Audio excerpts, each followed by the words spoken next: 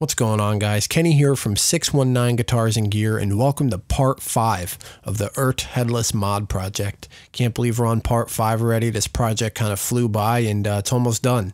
I can't wait to actually play this thing. So basically, in this video, I'm just going to walk you through the process of how I went about finishing the body. And uh, what I did is I decided to change uh, how I was going to do it, and I went a really user-friendly route to where anyone could do this. Literally, you have no special equipment involved, no spray guns, no compressors, nothing. Um, just a foam brush and some water-based polyurethane. Uh, so here I am putting a first initial coat of a satin water-based poly. Yeah, people argue with me saying you're not supposed to do that. Well, I did it. This isn't the first time I've done it, and I've got a great result every time. Uh, instead of going out and buying a special sandable sealer, um, I've used this and get the same result. And it's obviously easier for everyone to have access to this stuff. So it's just a satin poly that I'm brushing on with a foam brush just to initially seal the veneer after I stained it. And uh, it had some pretty coarse little holes in the wood grain, some rough spots. So I just wanted to build it up and and uh, layer by layer. I put like two or three coats on, and then I uh, ended up doing a little bit of sanding. Now, people will argue with me saying that you're not supposed to wet sand water based poly.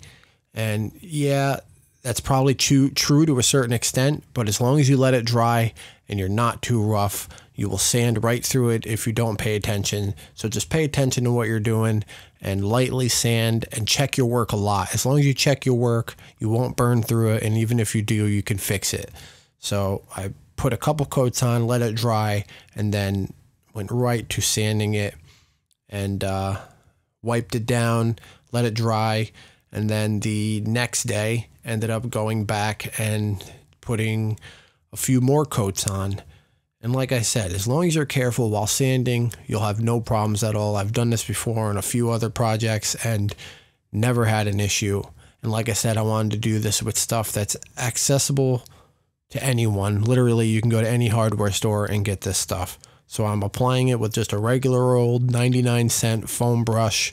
And like I said, I started off with a satin poly. And then by the end, I moved on to a gloss poly.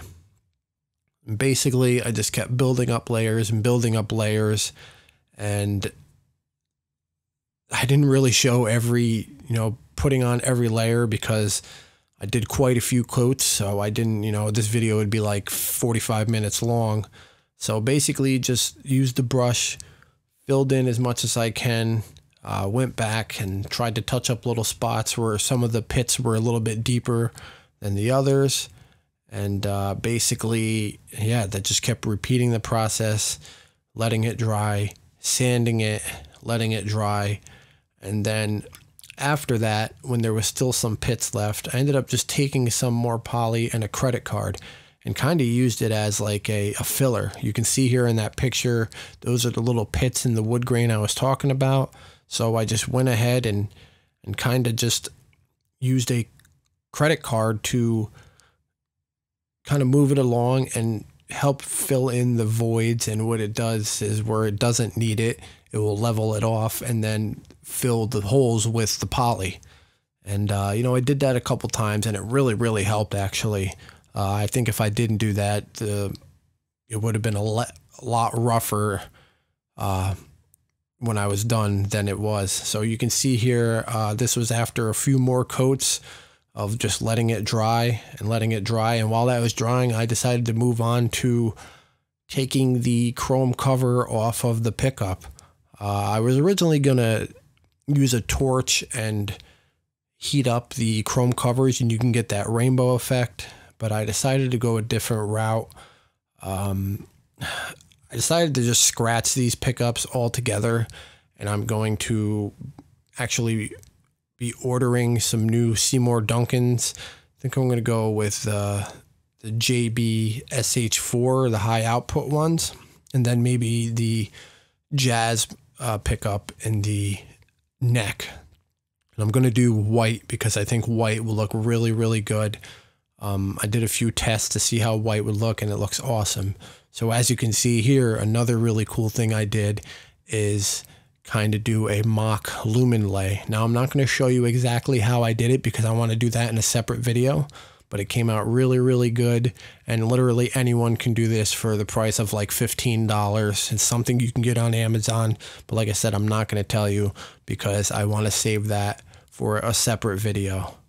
Uh, so basically, now after putting, I would say, seven or eight good coats of the poly on, uh, same process I showed you, nothing different, just sanding and applying it with the brush, sanding and applying with the brush. I moved on to hand buffing. Now, yeah, you're supposed to use a machine for this, but again, not everyone has access to that. So I wanted to show you that you can get an almost mirror-like finish shine with just hand buffing. And I started off with using a number seven, uh, I think it was Turtle Wax rubbing compound and just a lot of elbow grease, just, you know, pretty much doing it and wiping it off and buffing it and wiping it off. And, you know, just kept doing it and kept doing it until you get all those fine scratches out of the finish. And I'll give you a little tip. If you apply your last few coats of poly pretty thick and let it level off, it will level off pretty dang smooth and it will give you a great starting point and then you can let it dry. You want to let it dry a, a pretty good while, about a week or, or even more. Um, and then you can wet sand it and you can start buffing. Uh, so I wet sanded it lightly just to initially knock down any rough spots and get it get a nice, really smooth finish. Even where those wrinkles were, uh, you can't. You could still see the wrinkles just because of the different color and the discoloration in the wood, but you cannot feel it. It's like a piece of glass right over it. Um, so I was really happy with that. So I just literally kept moving on and buffing and wiping off and buffing and buffing. A lot of elbow grease. This was like a few hour process for sure. Um, but I wanted to do it without a machine so I can show you guys that it's possible and you don't need all that fancy stuff. Uh, then I moved on to a, a, kind of a more finer compound. It was, um, I believe it was made by a company called uh, Meguiar's, and it was just more of like a, a glaze compound. And uh, that was more of like a liquid, and just the same process, just putting it on, applying it, rubbing it in and then wiping it off. And I repeated that about four or five times. I didn't film every time, obviously, but uh, a lot of elbow grease. My hands were really, really tired after this. Um, originally, after before speeding up the the clips, this was like a 45 minute video, but I want you know obviously I sped it up so I can show you the process faster. So, like I said, I think I put that compound on four or five times and just wiped it off. Tried to get as much as a clear finish, a nice, smooth, shiny surface as possible uh, by just hand buffing it. And I'm really, really happy with the result I got uh, without using a machine. I've used a machine on other projects and yeah, it comes out really good and you get a great shine but I was completely blown away on how good of a shine I got with um, using my hands, honestly. Uh, I will put the names of all the compounds and the waxes I used down in the description. Um, but after I used a compound, I went ahead and applied a nice wax. Now, yeah, you're not supposed to apply wax for like 30 to 60 days. I don't really have 30 to 60 days. Uh, I wouldn't recommend applying wax for a while, but you know, I let it the body dry for a long time and I'm confident that I wasn't going to have any problems and uh, I didn't have any problems. So after uh, using compound, using a wax, and then I used a really nice spray polish. Uh, this thing was looking really, really good. And like I said, this is just my way of doing it. You don't have to do it this way.